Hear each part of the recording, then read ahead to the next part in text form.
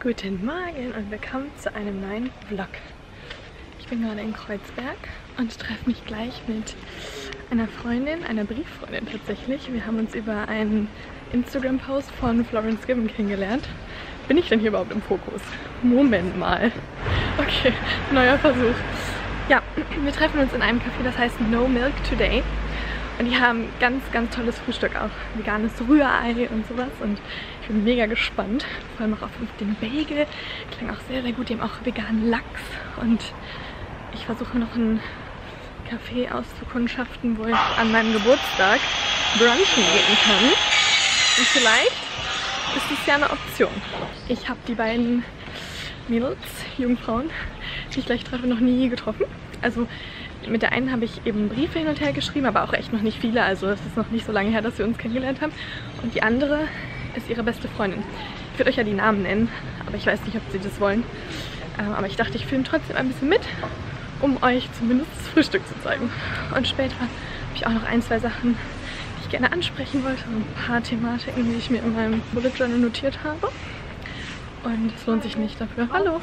Nee, so ein paar Thematiken, die ich mir aufgeschrieben habe und für die es sich nicht lohnt, ein ganzes Hauptvideo, nenne ich es immer, ähm, zu machen. Und deshalb wird das wahrscheinlich dann Part eines Vlogs. Und da ist ein kleiner Hund. Genau. Und nach dem Café gehen wir dann vielleicht noch ein bisschen durch die Läden hier in Kreuzberg. Noch ein Hund kleine süße Hunde hier. Gut, hier sind jetzt mehr Leute, als wollte ich mal anfangen zu filmen. Und wir sehen uns später. Wir sitzen jetzt im Café. Hier habe ich meinen Bagel, ein Cappuccino. Can I show you food? Yes. Do you want to tell me what you what you've got? This is like a raw berry cake mm -hmm. and a Vietnamese style coffee. Mm -hmm. Looks so fancy. It, it's it's.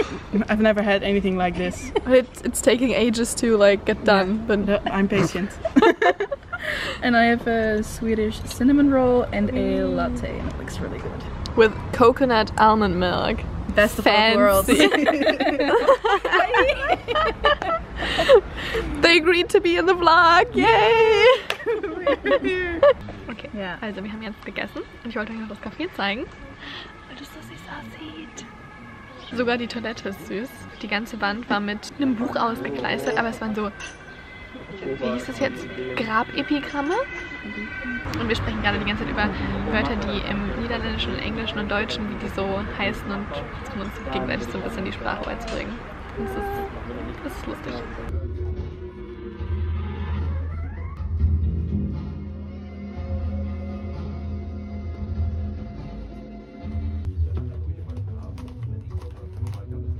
Wir sind jetzt in einem Secondhand Dresscode heißt der. Und das ist einfach sehr iconic. Please wear it again. Exactly. Just iconic. So, wir sind jetzt bei Pick and Wait. Kennt man ja auch aus unterschiedlichen Städten. Es ist ein Kilo-Store.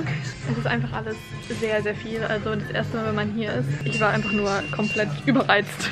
Aber jetzt, wo ich so ein bisschen weiß, wo welche Sachen sind, liebe ich es, weil man so besondere Sachen findet. Ich zeige euch mal ein bisschen was zu.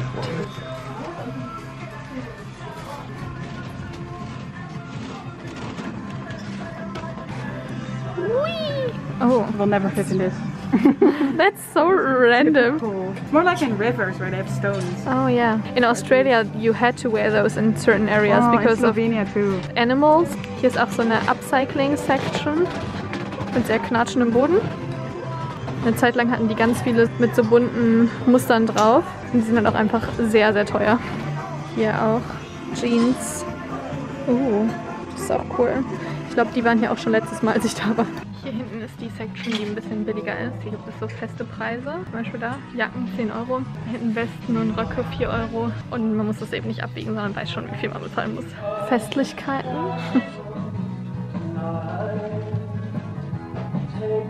Ich war erfolgreich. Ich habe hier so ein kleines süßes Tuch gekauft. Look at this. It's very bright. Oh yeah. I just went like. show you. Show you. oh no, my stuff is You got like really cute scars. Yes. I have to look for it. Yes, green, retro. So adorable. Yes. Like my Love it. like my grandmother's plates and cups. Yeah, it's all look coming back now. Yeah. It looks great. It's my heritage. sind in so einem Hinterhof und hier so ein ganz fancy Secondhand Vintage Store, aber die machen eben auch so selbst designte Sachen. Ich weiß nicht, ob sie aufhaben. That is Iconic. That's really cool. There are penises. The Instagram is on there Yeah, and everything. Some promotion here. Oh, it's so cool. It's so heavy. Wow! This is the most amazing thing ever.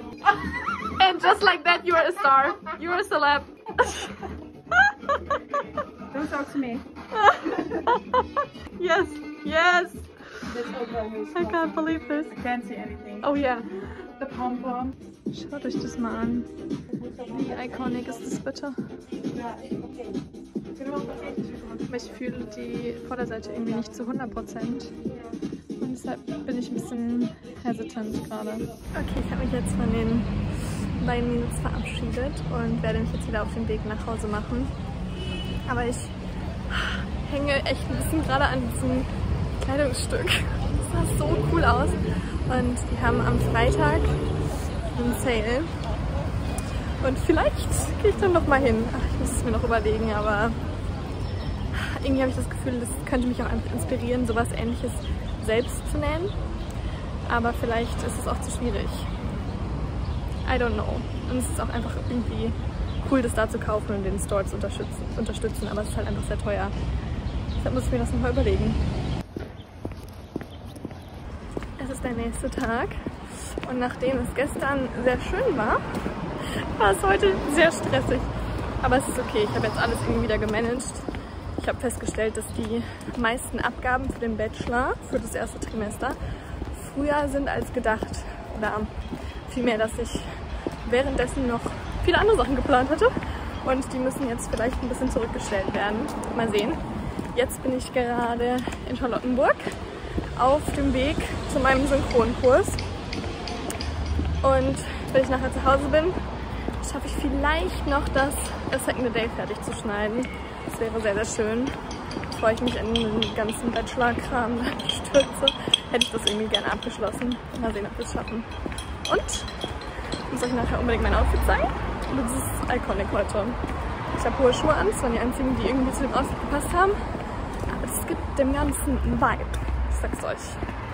Ja, ihr könnt es nicht so richtig sehen, aber wenn ich nachher mal irgendwie vorm Spiegel stehe, dann zeige ich es euch.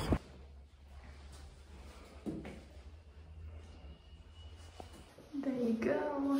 There is the outfit. Oh yes. Was ist das für dich? Ein Spiel? Stark genug? Und davon Ja. Guten Tag, meine lieben Menschen. Es ist der nächste Tag. Ich weiß auch nicht, was gestern dann los war. Ich bin irgendwie nicht mehr gefilmt.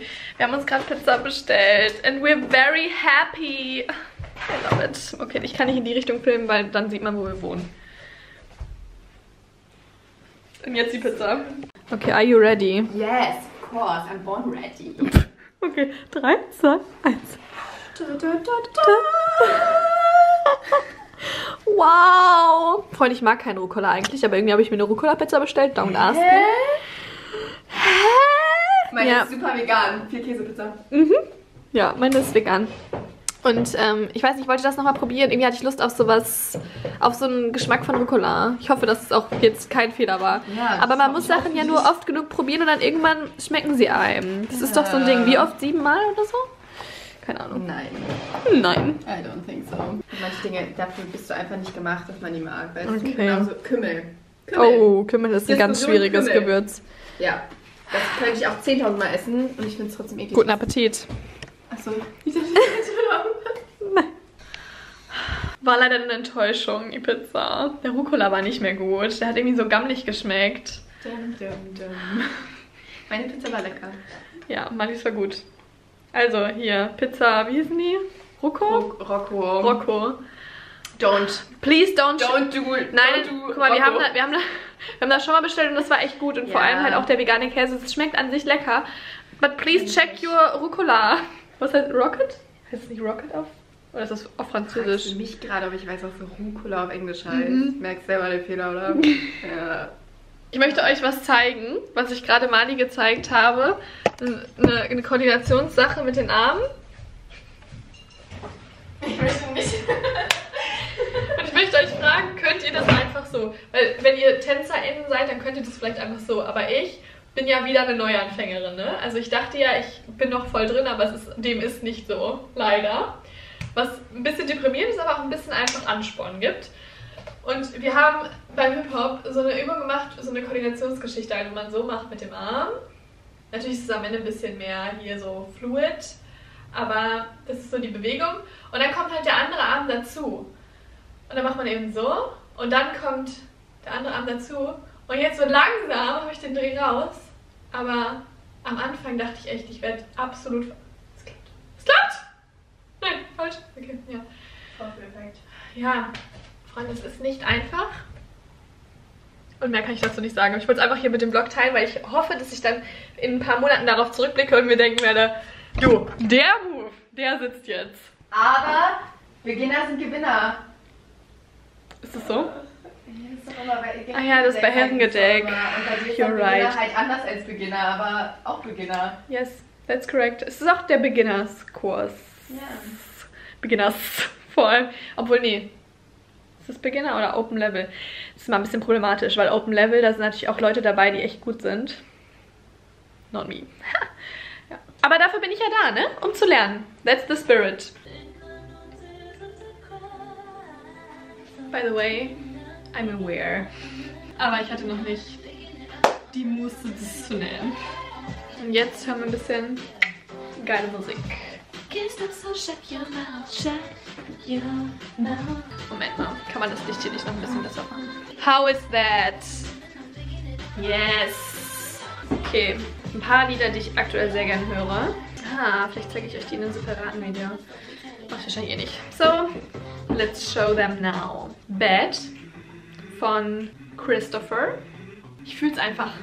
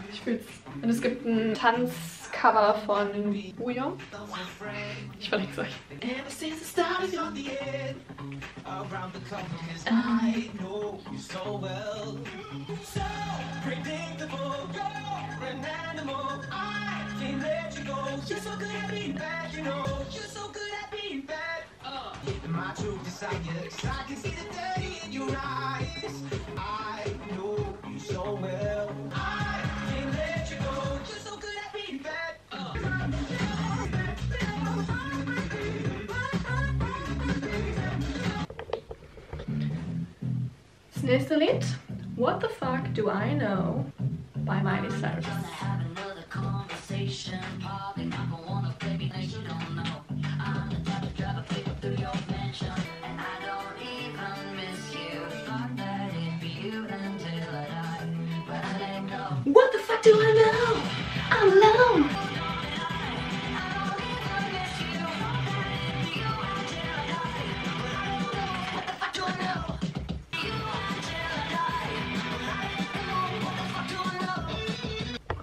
Jetzt kommt River. Auch ein sehr ikonisches Dance-Cover von Yeti, von Itzy. Verlinke ich euch auch unten. Honestly, one of the most beautiful people I know. Aber vor allem unfassbar talentiert.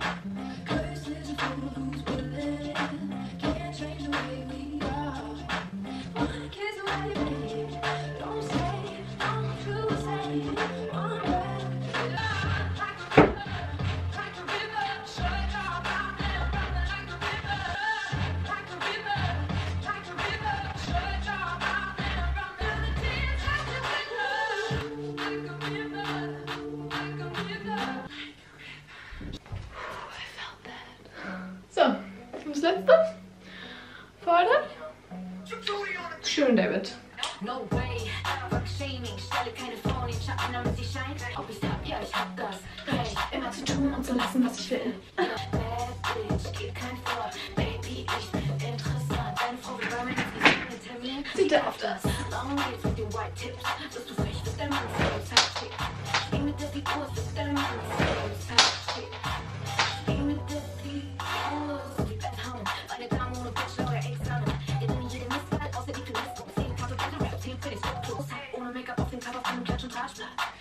Eine Barbara, ich darf das. Alle wollen meine Mike oder Statement. Doch ich mache diese Bitches nicht mehr famous.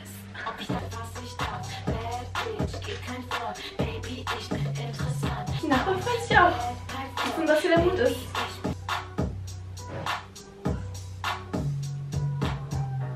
Ich war dann gestern übrigens noch im Mauerpark abends und habe mit Maike und Marit, die ihr ja schon kennt, noch was getrunken.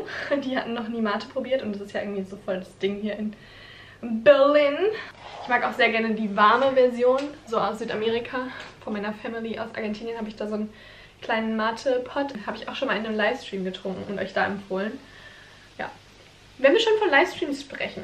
Mein Dozent äh, in der Uni meinte, ich soll es doch mal mit Livestreams auf YouTube versuchen. Wir besprechen nämlich aktuell so Social-Media-Strategien und ehrlicherweise ist das, glaube ich, einfach nicht so mein Ding. Ich ähm, verliere schnell den Spaß an YouTube, wenn ich es zu professionell aufziehe, in dem Sinne, dass ich es zu sehr auf Wachstum ausrichte. Und natürlich ist Wachstum schön und Likes und Follower sind schön. Einfach das, was ich mache, mit vielen Leuten teilen zu können und Feedback zu bekommen, ist toll. Aber wenn ich mich da zu sehr darauf fokussiere, dann werde ich unglücklich. Und ja, deshalb muss ich da so ein bisschen aufpassen, dass ich die richtige Balance finde. Livestreams machen mir an sich aber Spaß. Aber natürlich nur, wenn auch irgendwie Leute zugucken. Sonst muss ich mir halt irgendwie ein äh, Konzept überlegen, so ein bisschen. Mali und ich haben heute darüber geredet, dass wir vielleicht mal bald ein Video zusammen drehen. Es steht ja auch immer noch die zweite Podcast-Folge aus. Es ist so ein bisschen stressig aktuell, weil sie in den letzten Zügen ihrer Bachelorarbeit ist und ich auch gerade sehr, sehr viel zu tun habe in der Uni und die Abgaben für das erste Trimester anstehen. Deshalb wird es vermutlich nicht im nächsten Monat stattfinden. Aber man kann ja die Zeit danach schon mal planen. Ich bin sehr rot hier im Bild, ne? Das ist schon ein bisschen auffällig. Kann man das lichttechnisch hier irgendwie anders legen? Wir hatten da eben überlegt, zum Beispiel Mukbang mit lustigen Fragen. Gespräche mit Mali wären einfach grundsätzlich witzig. Also das kann ich, kann ich euch versichern. Wir haben einfach, wir kennen uns so gut, dass wir so eine Humor-Chemistry haben. Und immer wenn ich dann Videoclips von uns irgendwie bearbeite, weil sie jetzt ja auch in den Vlogs zu sehen ist, ist es einfach lustig. Und deshalb, vielleicht wäre so ein Livestream mit ihr auch ganz cool. Könnte man als Livestream aufziehen, könnte man auch als Video aufziehen. Mal sehen. Ich euch ein bisschen ja, ranzoomen, dass ich da nicht so unten im Bild hänge. Schon so lange nicht mehr mit Stativ gevloggt. ja, man sollte sich ja auch eigentlich nicht so von oben filmen, weil es dann so ist, als würden die ZuschauerInnen, also ihr, auf einen herunterblicken. Genauso wenig wie man die Kamera so von unten machen soll, weil das dann eben so einen Eindruck erweckt von wegen, ich stehe über euch. Aber man kann natürlich auch damit spielen. Und jetzt habe ich noch eine ganz wichtige Frage an euch. Eure liebsten deutschen Schimpfwörter. Was würdet ihr jemandem beibringen aus dem Ausland, der kein, der die kein Deutsch kann? Ich hatte das Gespräch nämlich mit Mike und Marit. Falls ihr coole Wörter kennt, lasst es mich wissen. Mir ist direkt Scheibenkleister eingefallen. Das habe ich denen dann gesagt. Aber das ist halt nicht so ein richtig böses Wort. Und manchmal möchte man ja auch so ein richtig böses haben. Und eigentlich eignet sich die deutsche Sprache ja total gut für Schimpfwörter, weil man sie so hart aussprechen kann, wenn man möchte. Aber mir sind einfach keine eingefallen. Ich frage mich, ob ich auch. Ich glaube, ich bin auch einfach eine Person, die nicht so viel so Schimpfwörter verwendet. Also, wenn ich richtig sauer bin, dann werde ich auch einfach emotional und gleichzeitig so ein bisschen kalt und bin dann einfach sehr direkt. Und ich glaube, die Menschen merken durch meine Emotionen dann einfach sehr, dass ich sie gerade angreifen will oder dass ich irgendwie meinen Punkt klar machen möchte. Aber grundsätzlich ich gehe Konflikten nicht aus dem Weg, aber ich bin niemand, der Streit sucht. Also es ist dann schon eher so, dass ich versuche, halt eine Lösung zu finden, weil Streiten mich unfassbar viel Energie kostet, gerade als hochsensible Person. Und deshalb mache ich es halt nicht gerne. Aber es gibt gewisse Thematiken, wo ich natürlich sehr sauer werde und dann muss das ja auch irgendwie kommuniziert werden. Schimpfwörter sind natürlich nicht ähm, da irgendwie die Lösung. Aber manchmal möchte man sich das ja auch einfach denken oder man möchte vielleicht so ein bisschen vor sich hin fluchen. Und vielleicht fragen einen einfach auch mal Leute nach Schimpfwörtern und dann möchte man welche nennen können. Und in der Situation befinde ich mich gerade und ich frage mich, was könnte das sein? Und da brauche ich eure Hilfe. Der Synchronkurs gestern war übrigens auch sehr gut, aber auch sehr intens. Und das war was, wo ich dann auch mal meine wütende Energie rauslassen konnte. Das ist nämlich so ein Ding, wenn man eine gewisse Emotion in seinem echten Leben nicht so viel auslebt, kann das manchmal sehr befreiend sein, die dann im Synchron oder im Schauspiel zu verwenden. Und da hatte ich zum Beispiel einmal so eine ganz verstörte, ängstliche und auch traurige, verzweifelte Person, die gerade gestorben ist. Es ist, glaube ich, die Intro-Szene von Into the Water. Ich bin mir nicht ganz sicher von Paula Hawkins. Die Rolle habe ich einmal gesprochen und danach äh, dachte ich auch echt, also ich habe wirklich das Gefühl gehabt, ich muss jetzt sterben. Und das war in dem Moment natürlich gut, weil ich dann die Emotionen gut verkörpern konnte. Aber so eine intensive Emotion spüre ich in meinem Leben natürlich nicht so oft. Das heißt, es tat irgendwie gut, das alles einmal rauszulassen, weil egal, ob man so eine Situation gerade in seinem Alltag hat oder nicht, es stauen sich ja trotzdem auch einfach so Spannungen an im Körper irgendwie. Und wenn man das dann durch so eine Rolle sehr intensiv rauslassen kann, fühlt man sich oft danach besser. Und das gleiche hatte ich jetzt gestern im Synchron mit einer sehr wütenden Rolle. Da mussten wir ähm, von The Incredibles ein Pärchen spielen, das sich ankeift und sehr wütend ist. Und der Mann ist in so einer verzweifelten Situation auch, weil er irgendwie sich halt nicht öffnen kann, will, wie auch immer. Und die Frau ist so ein bisschen so, jetzt sag mir doch endlich, was los ist. Wir zusammen kriegen wir das schon hin. So ein bisschen so in die Richtung. Und am Ende, ähm, ja, schreien sie sich halt so an und das hat richtig, richtig doll Spaß gemacht. Also es war auch sehr intens, also sehr, sehr intensiv zu spielen. Vor allem, weil wir es ja mit Partnern gemacht haben. Also die Frauen mit Partnern. Wir haben halt immer eine Frau, ein Mann. Das war eine krasse Situation, weil du bist dann so in deiner Rolle und guckst dir auch so in die Augen und dann ist es wirklich so, ach du meine Güte, what just happened? und dann am Ende spricht man es natürlich aufs Bild. Und das Verrückte ist, dass wenn du einmal die Dynamik der Situation richtig drin hast, sprichst du es fast automatisch synchron aufs Bild, weil du dann so den Rhythmus hast. Und das hat doll Spaß gemacht, ja.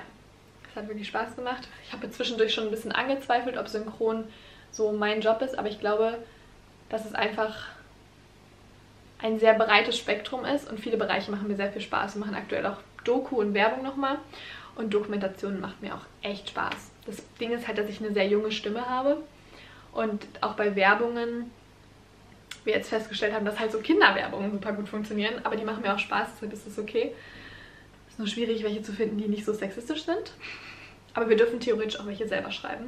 Und schreiben kann ich gut, deshalb ähm, vielleicht mache ich da noch was. Aber Dokumentationen, die meisten Dokumentationen haben sehr erwachsene Stimmen, weil man erwachsenen Stimmen oft mehr abkauft. Genauso wie man, ich glaube, das hat sich schon auch viel verändert, aber Männern mehr so seriöse Sachen abkauft. Das ist leider so, beziehungsweise es ist schade, dass es so ist, aber es ist in vielen Köpfen so verankert. Aber natürlich können Frauen auch seriöse Inhalte vermitteln. Auch junge Stimmen können seriöse Inhalte vermitteln. Und ich hoffe, dass ich vielleicht auch einfach, wenn ich ein bisschen in die Branche einsteige, da auch Teil einer Veränderung sein kann und eben auch zeigen kann, so wir jungen Menschen haben was zu sagen und wir beschäftigen uns teilweise mehr mit solchen Sachen, haben mehr Ahnung als manche Erwachsene. Also gerade wenn es hier so um Klimawandel geht, gibt es ja wirklich viele Erwachsene, die einfach ja, die Augen davor verschließen und da sich überhaupt nicht mit auseinandersetzen. Und die Leute, die letztendlich die Dokus gucken oder auch produzieren, ähm, da habe ich auch Leute in meinem Umkreis, die da viel mit Dokumentation arbeiten und äh, verschiedene Aktivisten zum Beispiel begleiten. Und das sind doch eigentlich die Leute, die dann auch sowas sprechen sollten, weil die wissen richtig, wovon sie reden. Und ich hoffe, dass das in Zukunft sich dann vielleicht noch ein bisschen mehr verändert. Wir werden sehen. Falls ihr Teil der Branche seid, you can be part of the change. Ich habe heute Abend noch Hip-Hop-Training. Ich freue mich drauf. Aber jetzt müssen auch noch ein paar Sachen vorher geschafft werden. Mein Second the Day soll endlich fertig werden. Und ich muss eine Website erstellen für die Uni. Und ja, die Website könnt ihr wahrscheinlich dann auch irgendwann sehen. Also die Sachen, die ich da veröffentliche, werden halt auch wirklich veröffentlicht diesmal.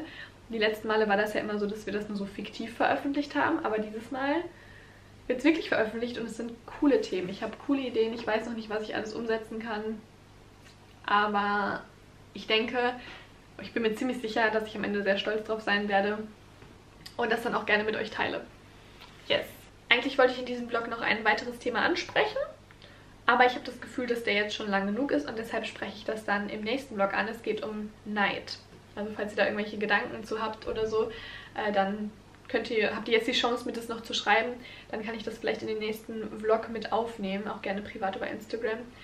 Ich habe nämlich so ein paar Gedanken dazu, die ich neulich hatte und die einfach, einfach helfen, mit Neid besser umzugehen oder auch so zu erkennen, worum es vielleicht wirklich geht. Und ja, vielleicht gibt es da noch andere Aspekte, über die es sich auch lohnt zu reden. Ja. Jetzt kommt ihr hier und hier zu zwei weiteren Videos von mir. Ich bedanke mich bei euch fürs Zuschauen. Hier in der Mitte könnt ihr mich gleich abonnieren. Und wir sehen uns dann hoffentlich im nächsten Video wieder. Bis dann. Tschüssi.